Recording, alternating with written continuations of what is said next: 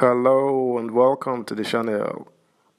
The federal government has issued a warning to Peter Obi, presidential candidate of Labour Party, for his constant inciting and provocative statements in the wake of Bola Ahmed Tinubu emerging as president-elect.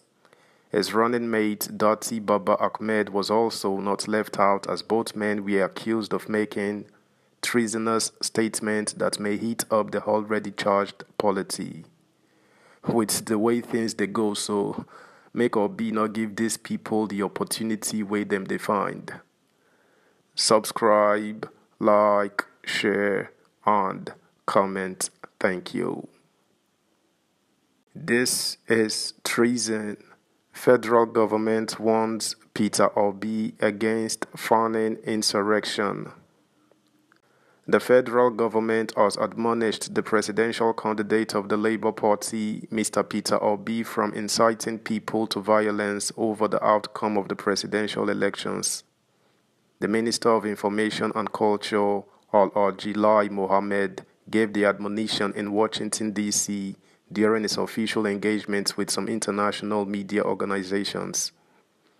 The news agency of Nigeria, NAN, reports that the minister is in Washington to engage with international media organizations and think tanks on the just concluded 2023 polls.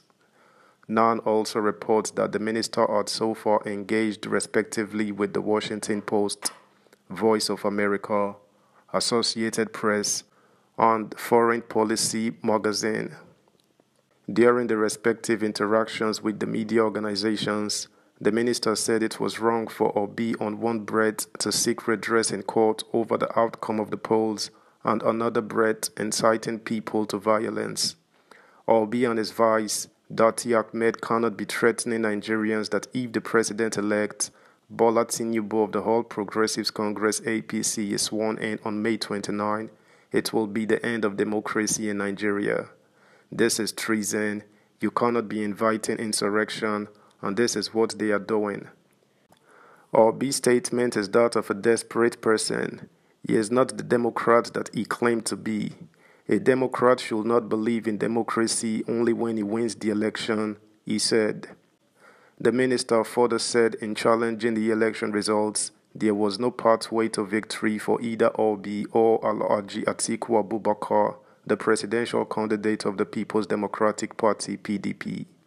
According to the minister, both Obi and Atiku failed to meet the constitutional requirements to be declared as president. The constitution has stringent criteria for anybody who wants to be president of the country. Not only must he have the plurality of vote cast in an election, he must also have scored one quarter of votes cast in at least 25 states. Only the president elect met the criteria by scoring 8.79 million votes and having one quarter of all the vote cast in 29 states of the Federation, he said. The minister said Atiku, who came second with 6.9 million votes, was only able to make one quarter of the votes cast in 21 states. He said Obi came third with 5.8 million votes, but won only one quarter of votes cast in 15 states. You cannot win an election in a poll where you came in a distant third position and failed to meet constitutional requirements. Peter Obi, while complaining of fraud as not the soundest victory in Lagos, he said. Elaborating on his mission to the US, the minister said he was there to correct the negative narratives being promoted by naysayers and opposition on the election. He said the opposition, having lost in the election, was alleging fraud, calling for his cancellation and constitution of the interim government. We have come here to balance that skewed narratives and to tell the world unambiguously that the just concluded general elections in Nigeria is the fairest, most transparent, and authentic in the history of Nigeria. The election is the fairest and credible because of the introduction of the bimodal voters accreditation system BVAS, which I regard as a game changer. BVAS technology had helped to weed out ghost and illegal voters eliminate multiple voting and return sanity to the elections. Relying on the INEC report, the minister said BVAS during the polls walked 97%, giving unparalleled credibility to the elections. Subscribe, like, share, comment, and please turn the notification bell on. Thank you.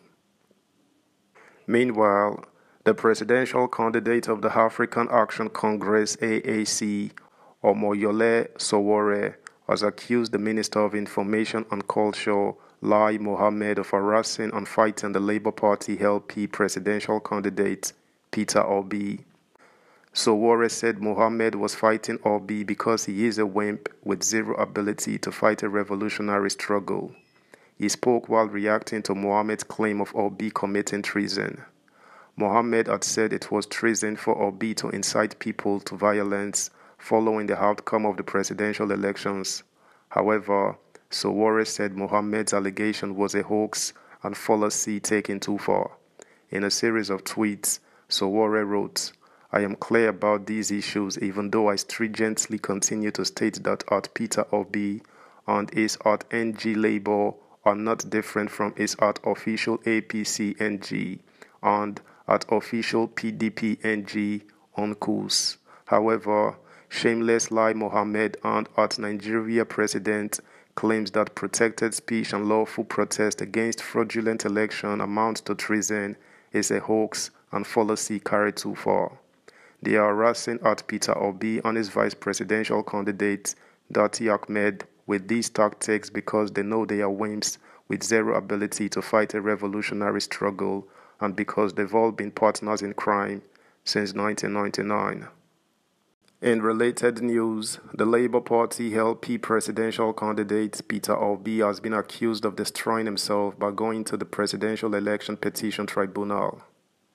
Reno Omokri, a social political activist, said Obi would get less votes than he did during the presidential election should the tribunal order a rerun. Tweeting, the former aide to ex-president Goodluck Jonathan said the LP flag bearer has set the southeast backwards.